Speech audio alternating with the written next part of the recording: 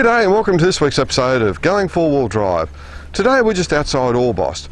We're heading over to Omeo and we're going to be taking one of the most scenic tracks around the high country. It's the Deddick Trail. We'll be veering off every now and again and having a look at some lovely sights from lookouts and fire towers and things like that. And then we'll make our way down the, into the valley of McKillops Bridge. Now McKillops Bridge, I haven't been there since I was a, well, knee high to a duck. And it was a great little place. We could go swimming there and everything. It was great fun then. And then on from there we'll head on to uh. Now there's a little schoolhouse that I've heard about. It's made of timber planks and these are handmade planks.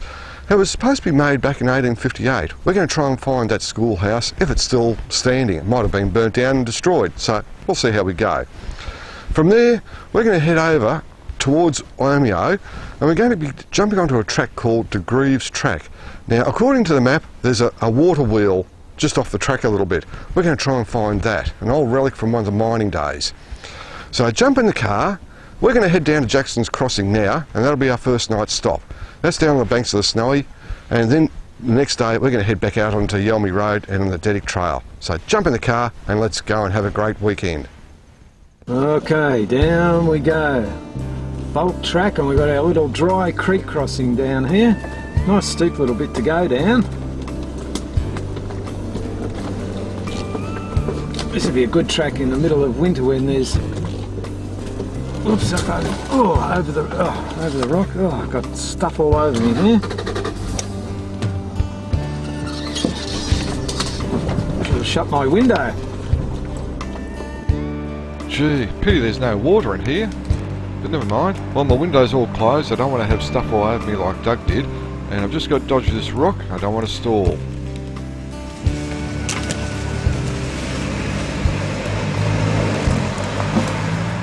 Wow, not a lot of water in it. Just take it nice and slowly. In four-wheel drive, not too fast because there's a lot of rock here, although it's not too rough. I think I might go through here in second low and just take it a bit easy. I don't want to go bouncing around. My suspension is quite stiff.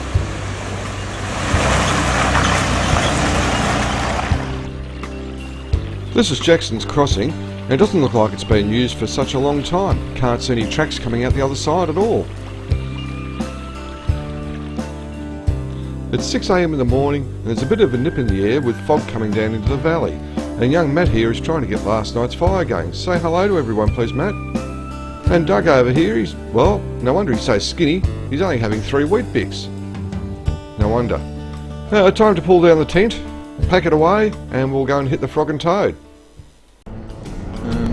This is a pretty, this bit of Varney's track's a pretty good four-wheel drive track actually, and we noticed there are a few camper vans and what have you stopped just prior to this rough section, because obviously some of the whoop-de-doos are a bit too, bit too big and steep for take a van up.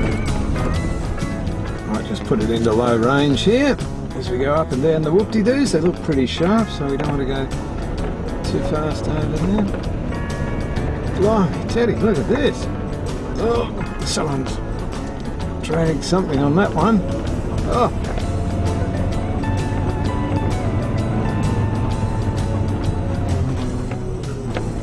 So, wow. Little mountains in the middle of the track. Another one here.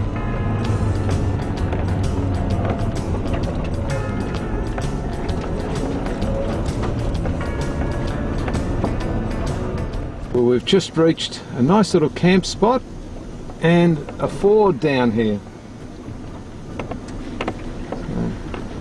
About to come down, second gear low range here. Ah, lovely little creek.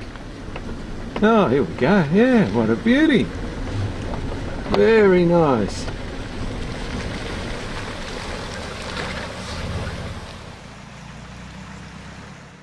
Well, same river as before, seems to be less water in here.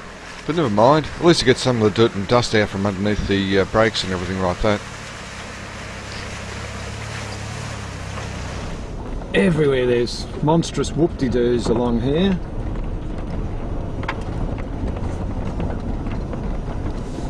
Someone's been, been big on a bit of street juice there. Starting to get a bit more rock in the track now. Oh, here's a nice little bit here. Nice steep little bit with a dog leg right in the middle of it. Okay, round we go.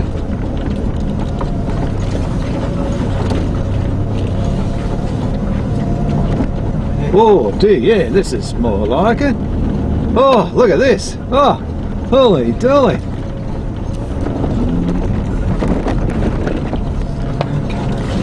This would probably be the steepest and hardest part of the Deddick Trail. On the maps it's known as the staircase. A series of whoop-de-doos and sharp ledges just going down a short, well reasonably short, uh, descent. Or if you're coming back from Omeo, uh, it's a climb. But nevertheless, it is a very steep section this, and uh, unless you've got a proper four-wheel drive, you can really strike some problems going up this section here.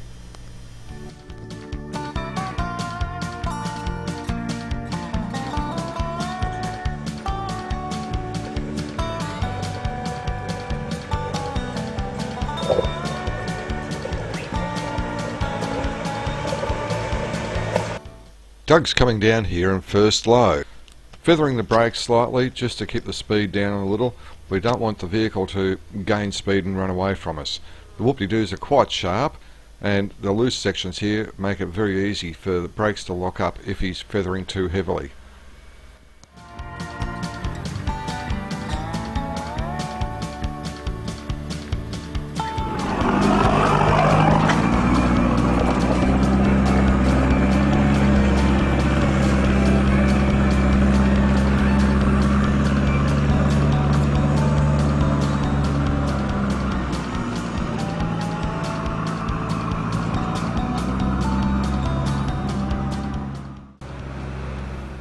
I'm coming down in first low and gee I'll tell you what the heavy flywheel on these diesels are fantastic.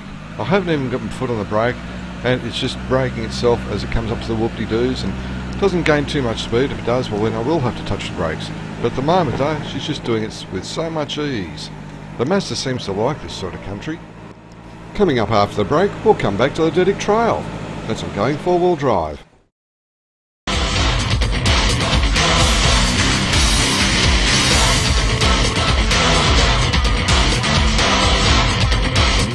Tires.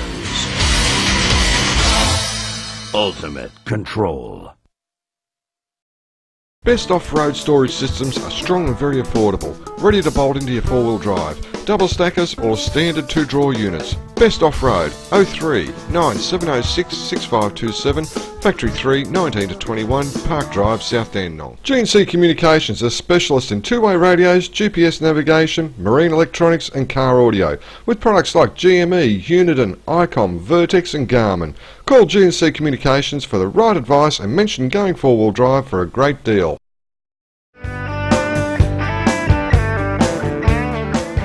Unless you got a pretty decent four-wheel drive, you'd have trouble getting up that that last steep section. Ah, here's a little camping ground. On a bit of a slope. Ah, here we come to the little ford. Ah, think it's just a bit of a puddle. Yep, that's all it is.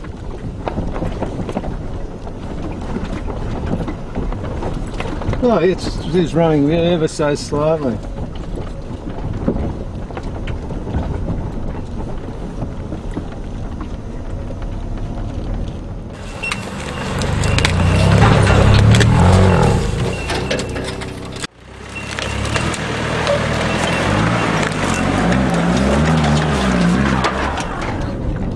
Gee, big climb this.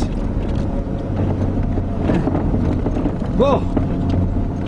Dude. Steeper here.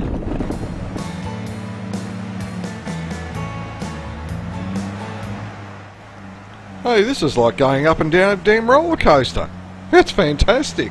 Except for the loose sections, but yeah, great.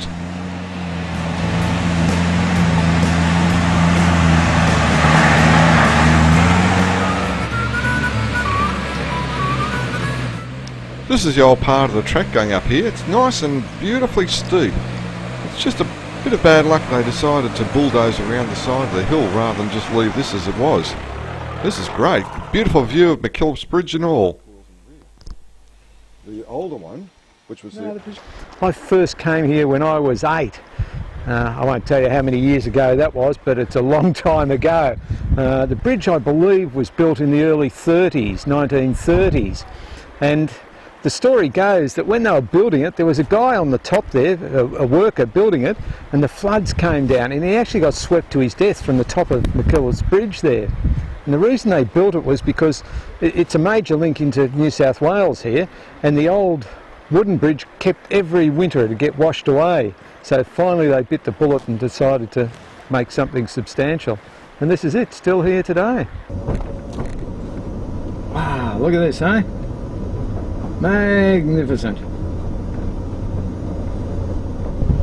Well, this is the Little River Gorge. Magnificent little place here.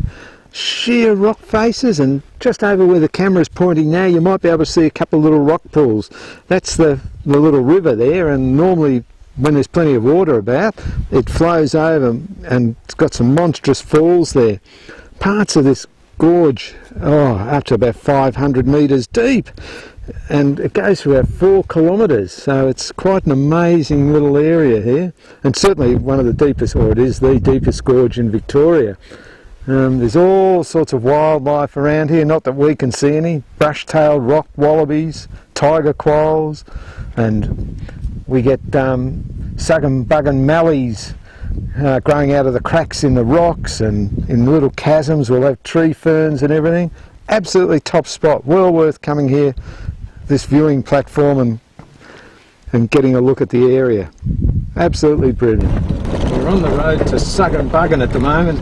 It's a bit like the road down to McKillop's Bridge. There's just phenomenal views. Nice and narrow and windy, certainly two-wheel drive. Tom Dillon, who worked for the O'Rourke family, is buried in a grave at the top of the hill near the schoolhouse. He was a ticket to leave man, a convict who was granted freedom of lodging and occupation within a given district until the termination of his sentence. Edward O'Rourke built the school in 1865 and hired a person by name of Ballantyne to tutor his 13 children. Gee, yeah, imagine this in the wet. Oh, oh. oh. Gee, it's rough. No, he's alright.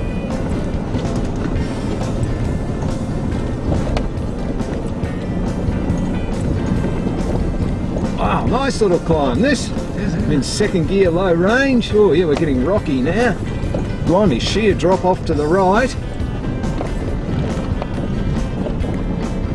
Another nice climb up here. We're climbing right up to a helipad. So one of the benefits of having the fires go through here in 2003 is that the trees haven't fully recovered yet and the views you get are absolutely spectacular. Just about every point you get to, there's phenomenal views.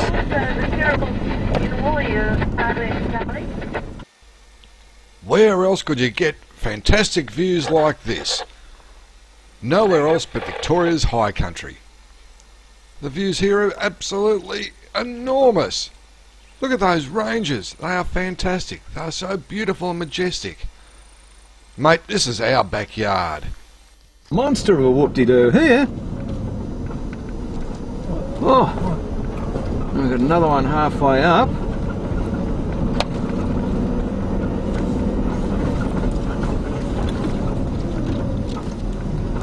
Gee, looks like another one just here. Then we're almost at the top.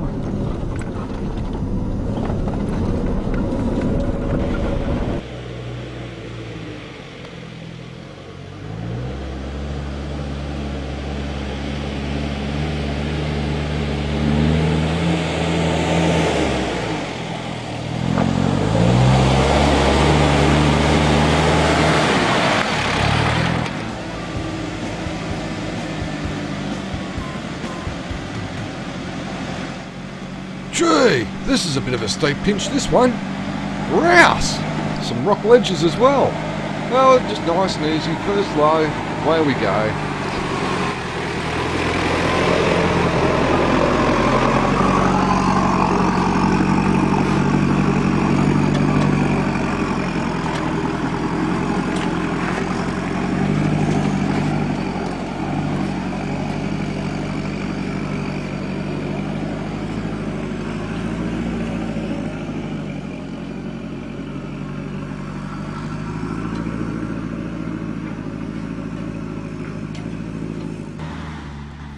Now, because my vehicle is lighter than Doug's, and also doesn't have the articulation and the type of suspension that Doug's got in the Prado, I'll be taking a slightly different line.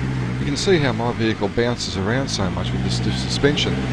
So yeah, just a slightly different line, but still make it up without any trouble at all.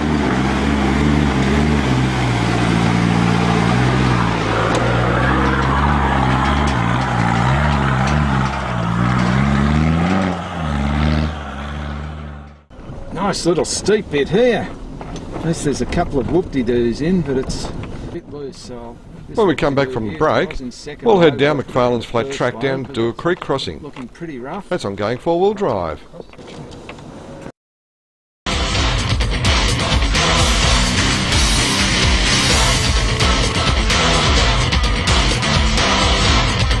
Maxxis Tires.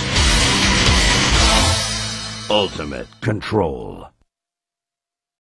Best off-road storage systems are strong and very affordable, ready to bolt into your four-wheel drive, double stackers or standard two-drawer units. Best off-road 03 9706 6527 Factory 3 19 to 21 Park Drive South Dandenong. GNC Communications are specialists in two-way radios, GPS navigation, marine electronics and car audio with products like GME, Uniden, ICOM, Vertex and Garmin. Call GNC Communications for the right advice and mention going four-wheel drive for a great deal.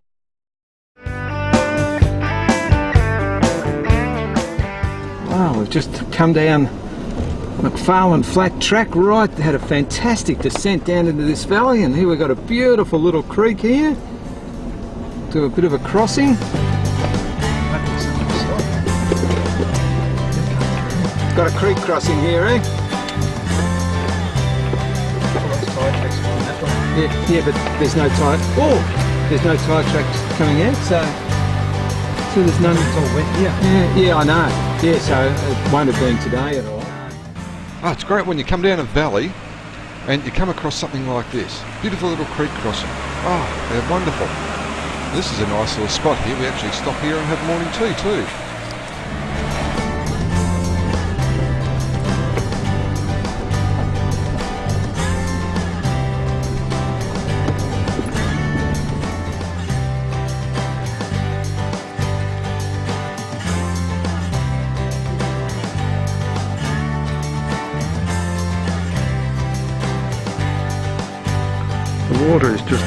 Absolutely crystal clear here.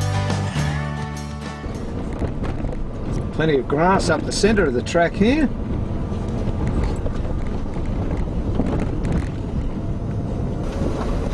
Oh, wound our way around the Cobberas Trail and eventually come down a very long climb and, or descent into the little valley here. We've got a little creek crossing. Oh, gee, oh, this. Yeah. Oh. Oh, nice big rock here. Oh.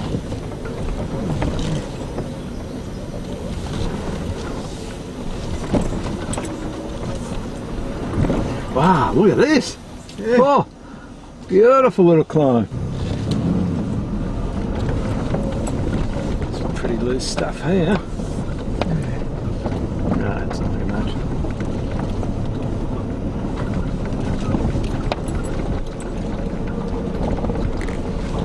Oh, here we go. Another, another little river crossing. Gee.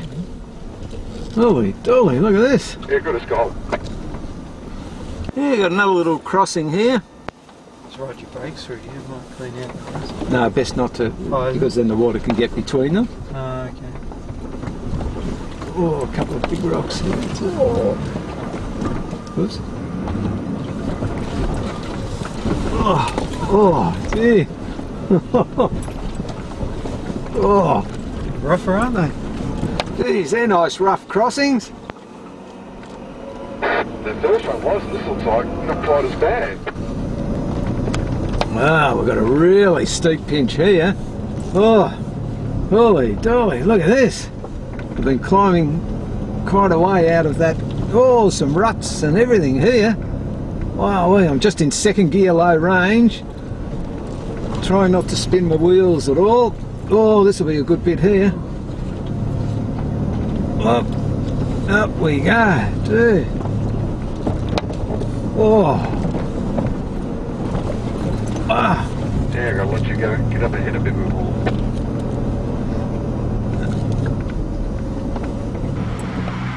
Oh, what have we got here? Loose rock, some ledges. I'm in second low. I've got a lot of uh, momentum going, and I've just got to keep on going. Let the tyres do all the work.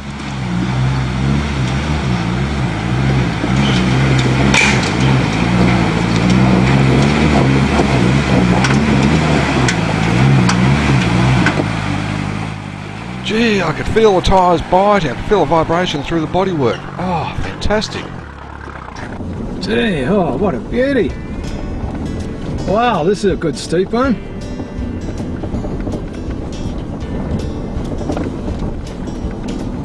Very, very loose and rocky here, so because it's so bouncy, I decided to put it into first low. Almost up to the top.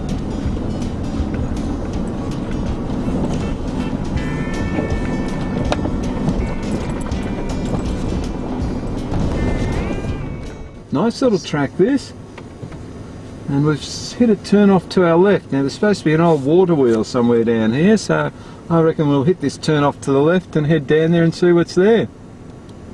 Just a short distance off to Greaves Track, we came across this water wheel. It's marked on the maps. It's in remarkable condition and built early last century. Probably brought up in pieces, as this is remnants of an old tin mine here. Boy, is it overgrown. Another 12 months and you'll even have trouble walking down here, I think. Oh, this nice steep little section.